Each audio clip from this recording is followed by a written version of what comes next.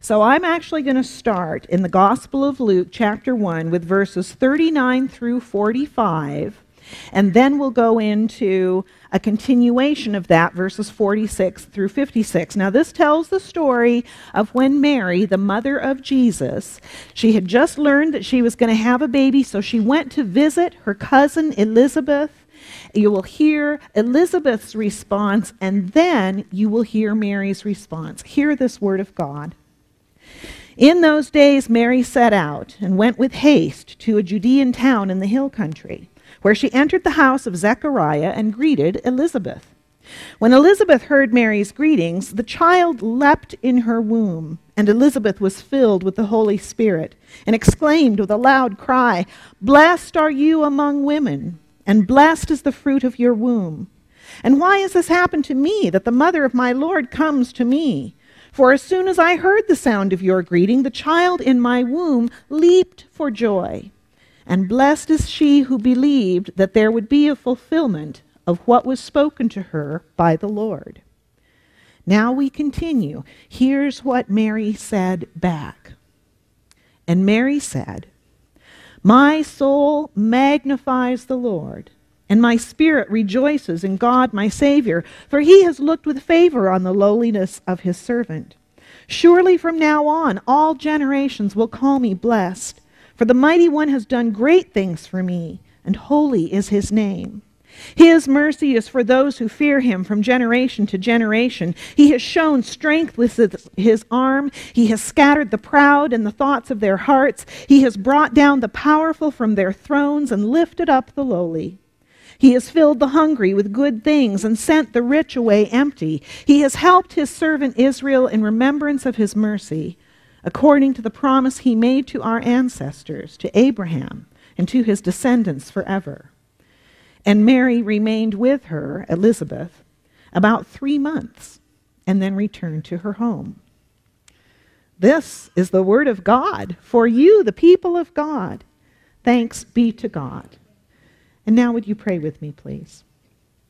Gracious God, I ask that the words of my mouth and the meditations of my heart would be acceptable to you and of great value to your people. For it is in the name of your Son, Jesus Christ, who I pray. Amen. Well, good morning. It is good to see you this morning. Good to be in the house of the Lord together with you. Good to be celebrating these weeks of Advent, that time of the year that the church has set aside to prepare ourselves for the coming of the Christ child. Good to be together. It, it has occurred to me that in, in the times that we have shared so far since my arrival here at St. Mark's, that there is a little bit of information that I have, have not quite shared with you yet, and I thought, especially with Christmas coming and all, it, it might be nice if I would share a little bit more about myself. And what I'm referring to in particular is my, my ancestry, my heritage. You see, about I don't know, four generations ago or so, my ancestors immigrated to the United States from Norway. They settled up in the northern part of the United States and uh, raised their families there. And, and because of that, I am privileged to be able to tell some of the deep and meaningful historical stories of my people. And I'm referring specifically to Ole and Lena jokes. Now, if you've never heard about Ole and Lena, Ole and Lena live up in the Northland. Sometimes you hear about them in Wisconsin, Minnesota, maybe the Dakotas, which is where I grew up. But Ole and Lena share this this wonderful, profound experience of life, and we have so much that we can learn from them. For example, not long ago, Lena went to her husband, Ole, and Lena said, Now, dear Ole, it's the Christmas time, you know, so we got to go and do the Christmas shopping. I wonder if you would come with me and all the girls. We're going to go and do the Christmas shopping, see if we can find the bargains. And Ole says, Oh, no, now, Lena, I already got a, a commitment. Me and my best buddy Sven, we going to go and go ice fishing. Okay, now we need to take a little sidestep here because you need to understand that up in the northern states, the water gets stiff. Okay, we only think it's cold here in El Paso. It gets really cold up there. And you can go ice fishing. You can actually go out on the lake when the ice gets thick enough. You drill a hole, you go fishing through the hole in the ice. Okay, you have to understand this or the joke doesn't work. Okay, so just, just know that part. So, Ole and his friend Sven they go out to go ice fishing.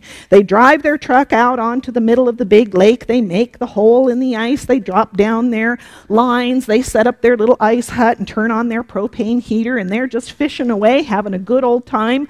But oh my goodness, the ice wasn't as thick as they thought it was, and all of a sudden there's a big crack and a splash, and Ole and Sven and their truck and their fishing poles and the whole kit and caboodle goes down into this icy water curse splash. They're fighting and struggling to save their lives, coming up for air out of the water. They make their way over to the shore of the lake and pull themselves up, freezing with icicles dripping off their faces, and they lie gasping for breath on the shore.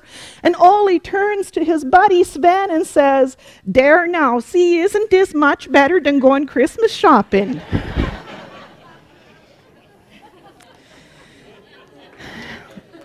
They get worse.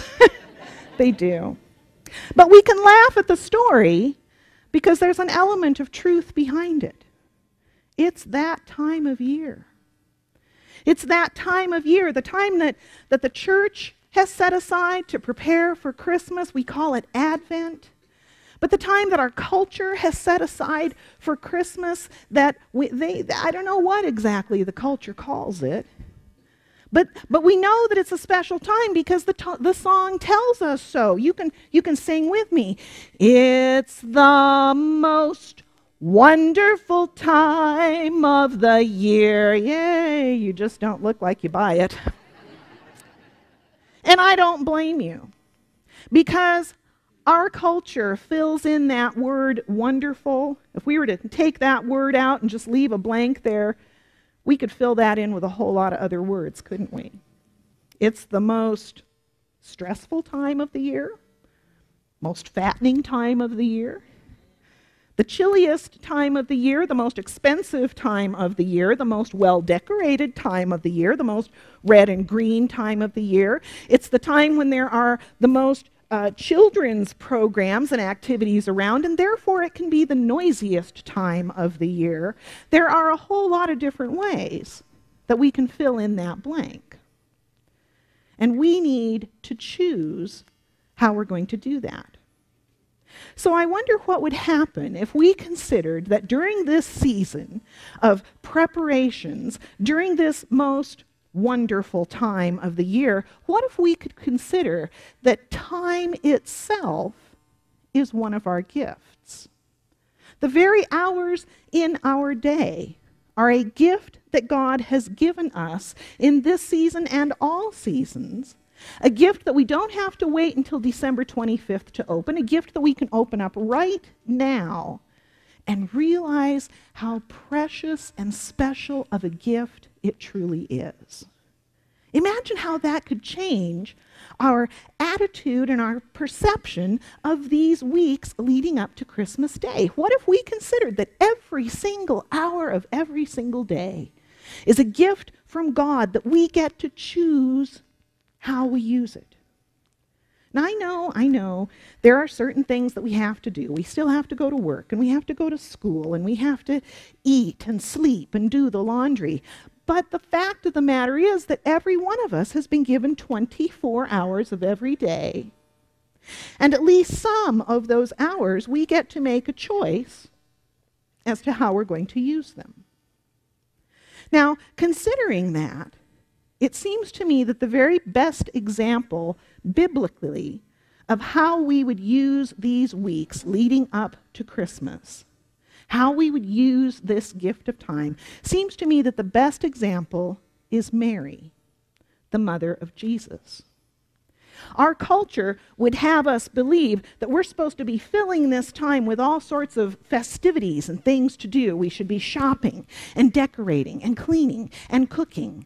We should be going to programs. The calendar gets full. The calendar gets filled with children's programs and parties and Christmas programs, and there's movies and TV specials to watch. There's a whole list of things to be done. But when you look at Mary, she didn't spend her time preparing for the very first Christmas by taking advantage of Cyber Monday. She spent her time in a much different way. Listen to what the scripture says. Listen one more time. In those days, Mary set out and went with haste to a Judean town in the hill country, where she entered the house of Zechariah and greeted Elizabeth. Mary didn't spend her time baking Christmas cookies.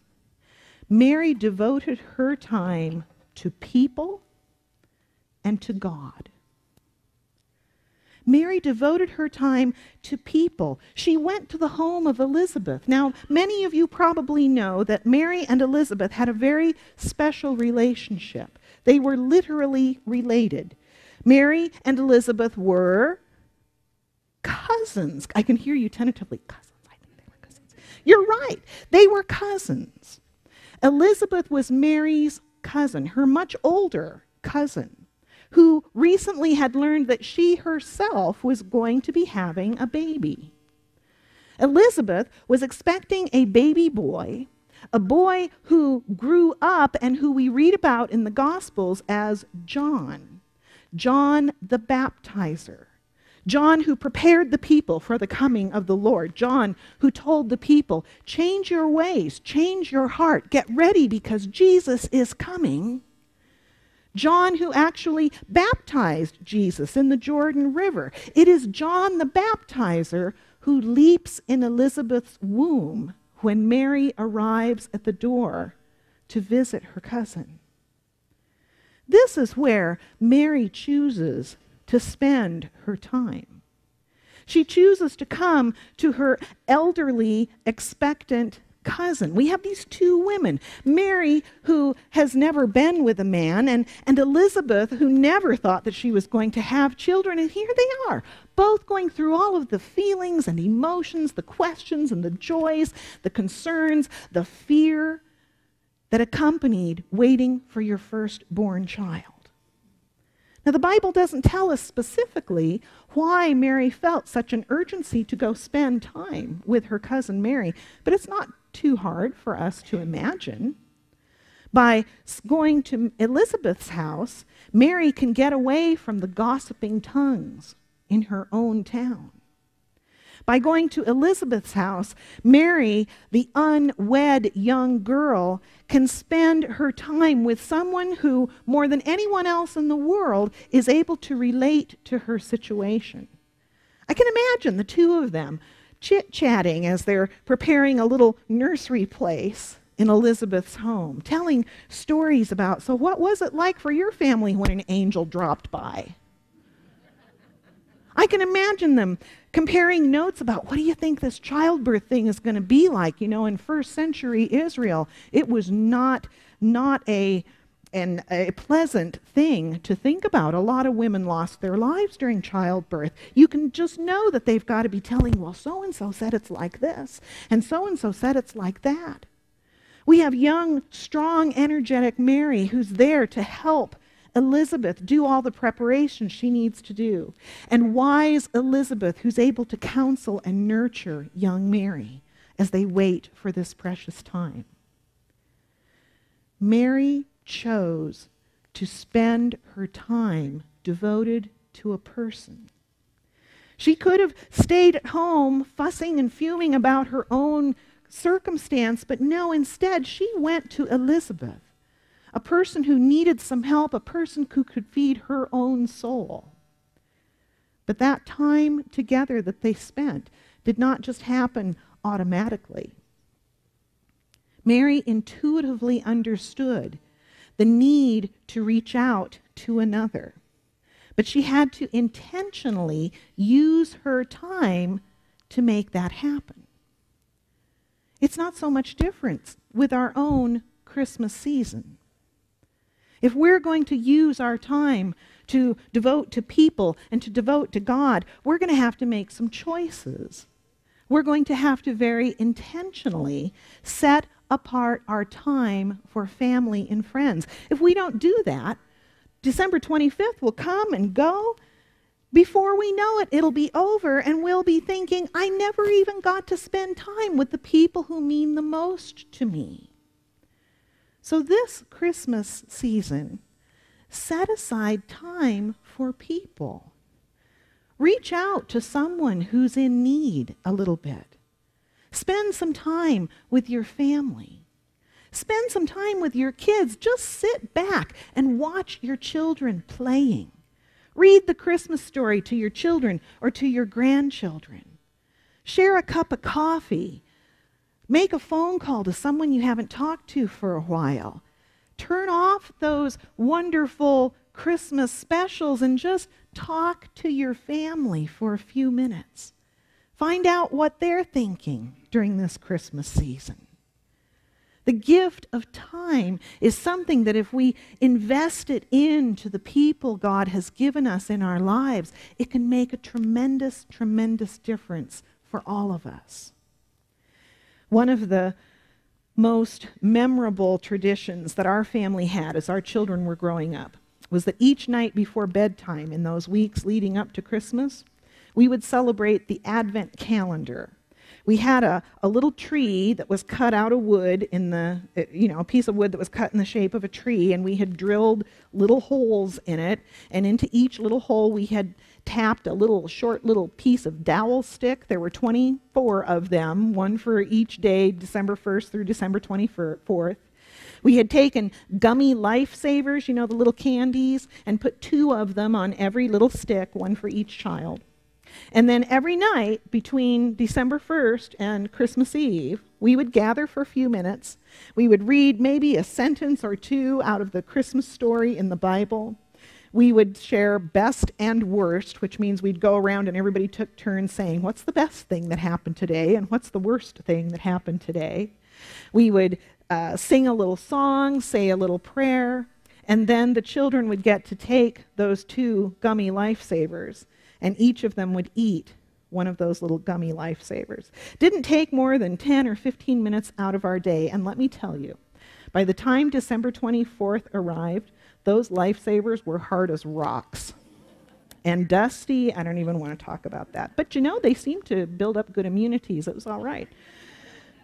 But those special little 10 minute blocks of time are something that our children will remember for their entire lives. It just took a little tiny bit of thought. And we created a way to invest our time into our family during the weeks leading up to Christmas. That's what Mary did. She used her time to devote to people, and she used her time to devote to God. That second portion of Scripture that we read where Mary says, My soul magnifies the Lord. Some of the most beautiful, beautiful words in the entire Bible. Mary intentionally takes some time to set aside to devote to God, to tell God how much she loves him, to give God praise and glory and adoration, to tell the story of what God has done for her and what God has done for other people. She takes that moment to say, Lord, this is so amazing. What if we could do that? If we could set aside some of that precious gift of time and just devote it completely to God. And you're already doing that because you're here in worship this morning. Look at you. Look at you using your time so wisely. But you don't want that to end when you walk out the door of the building. You want to continue valuing this precious gift of time and give it to God. And you know, it's not so much a, a matter of what you're doing with your time, but it's how you're doing the things that you do.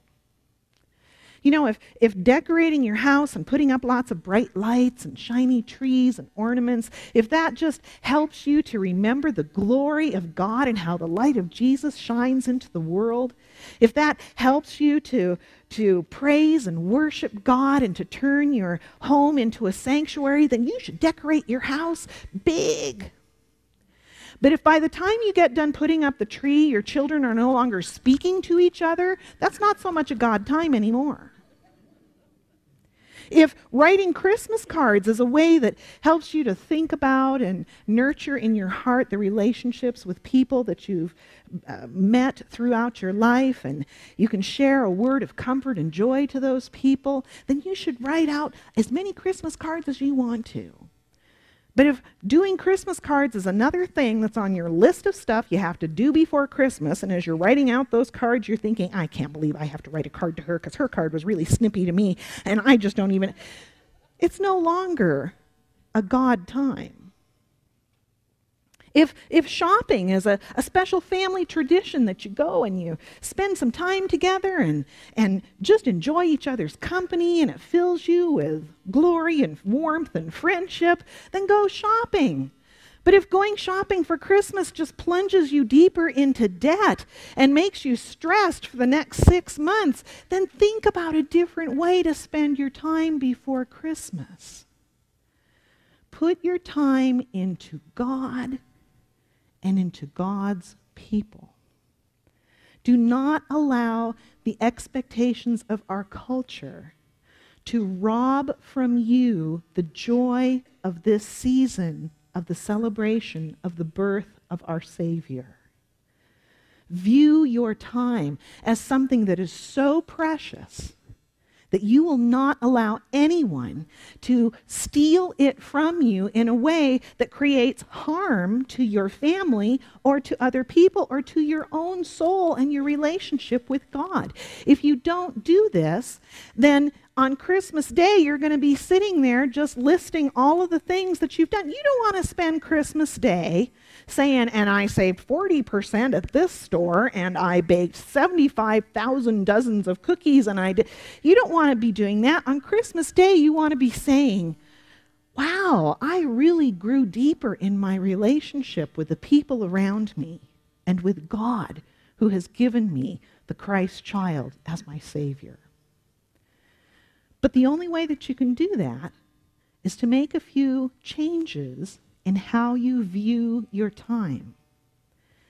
And it might even mean that some of those things that are filling up your calendar, you might have to say no to. Not anything at church. Do everything that the church does. Just kidding. But truly, you might have to think about is this adding to the deep sense of connection with God that this season is intended for?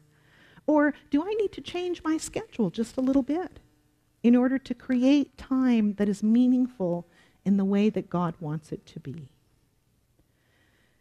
That song, it's the most wonderful time. You get to take that word wonderful and you get to fill in that blank however you want to. You get to sing the song, it's the most stressful time in the year, or it's the most peaceful time in the year. Are you going to sing it, it's the most expensive time of the year, or it's the time that fills my soul the most? How are you going to fill in that blank of that song? How are you going to use your time in preparation for the birth of the Christ child?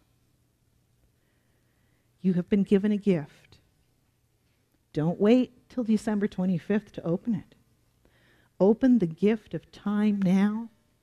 Use it for people, use it for God, and experience Christ this Christmas. In the name of the Father, and the Son, and the Holy Spirit, amen.